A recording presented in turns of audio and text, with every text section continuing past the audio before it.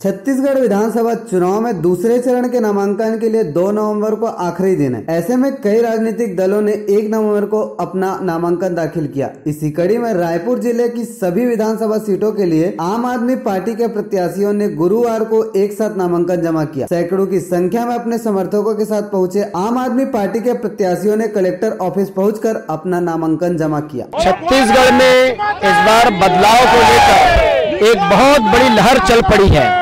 Bharatiya Janata party 15 वर्षों से छत्तीसगढ़ में सत्ता पर काबिज है और कांग्रेस तीन वर्षों का कांग्रेस का शासनकाल जनता ने देखा है। और आज जो हालात बने हैं, उसमें आम आदमी पार्टी पूरे देश में ईमानदारी और विश्वास का प्रतीक बनकर खड़ी हुई है।